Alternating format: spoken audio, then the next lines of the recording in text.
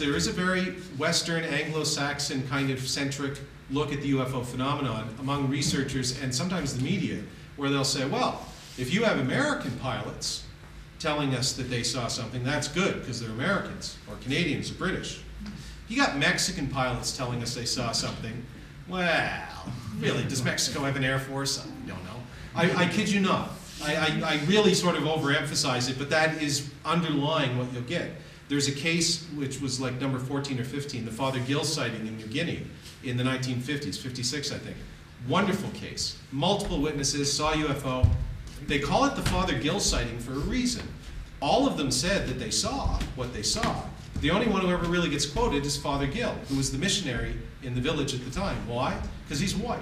And this, there is, it's not an undercurrent of racism or anything like that, um, certainly not intentional, but this, this cultural bias, that's the best way to put it, against cases that are not American, British, Canadian, maybe Australian or New Zealand.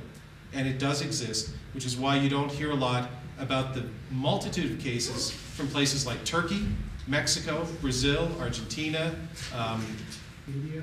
India, absolutely, Japan, China, you know, but, but there is that undercurrent of cultural bias, um, especially in sort of Western media, and even amongst Western UFO researchers, frankly, even serious ones.